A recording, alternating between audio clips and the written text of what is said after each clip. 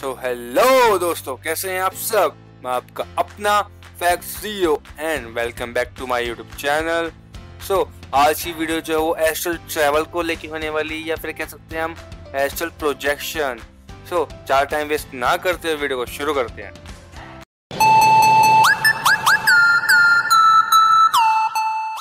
सो so, सबसे पहले हम जान लेते हैं कि एस्ट्रल ट्रैवल होता क्या है।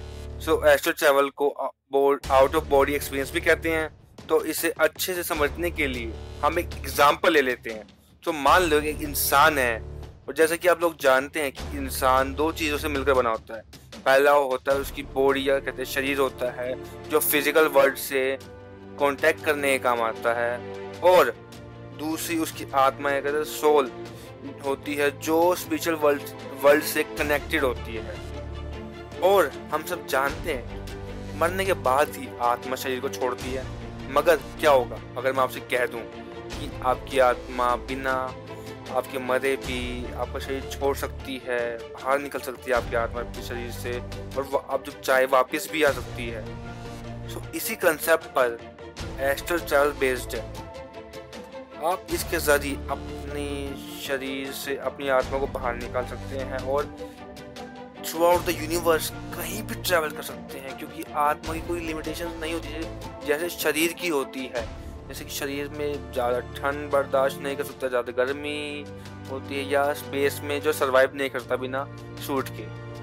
हिंदू स्क्रिप्चर्स में भी हमें इनका उल्लेख देखने को मिलता है। और जो हमारी आत्मा होती है, वो एक फॉर्म ऑफ़ एनर्जी होती है। ना तो जिसे हम डिस्ट्रॉय कर सकते हैं, ना उसे क्रिएट कर सकते हैं, वो खाली एक फॉर्म से दूसरे फॉर्म में ट्रांसफॉर्म होती है।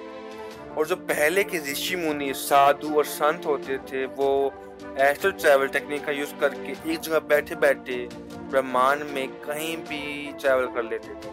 जिसके ज़रिए उन्हें पता चला था कि यूनिवर्स में इस मतलब इस गैलेक्सी में नौ ग्रह हैं, जिसे साइंटिस्ट ने बाद में डिस्कवर किया था बड़ी मेहनत करके। और आप भी इसे प्रैक्टिस के ज़रिए इसे यूज़ कर सकते हैं, मगर इसे किसी गुरु गुरु या इसके बारे में अच्छी नॉलेज रखने वाला हो, उसकी देख रेख में ही परफॉर्म करना चाहिए।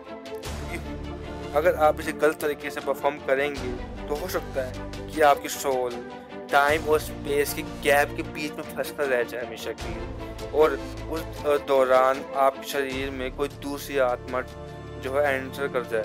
क्योंकि हमारे आसपास बहुत सारी पॉजिटिव और नेगेटिव एनर्जीज हो होती हैं। तो हो सकता है उनमें से कोई एक एनर्जी या एक सोल आपके शरीर में एंटर कर जाए। इसलिए इसे किसी गुरु की देख रेख में ही परफॉर्म करना चाहिए। सो आज की वीडियो में बस इतना ही। अगर वीडियो अच्छी लगे तो लाइक करें और शेयर करना ना भूलें। और अगर आपने मेरी इससे पहले वाली वीडियोस नहीं देखी हैं तो मैंने उनका लिंक डिस्क्रिप्शन बॉक्स में दिया हुआ है। और चैनल को सब्सक्राइब करना बिल्कुल ना भूलें। और अगली वीडियो का टॉपिक कमेंट करके ज़रूर बताएँ। And thanks for watching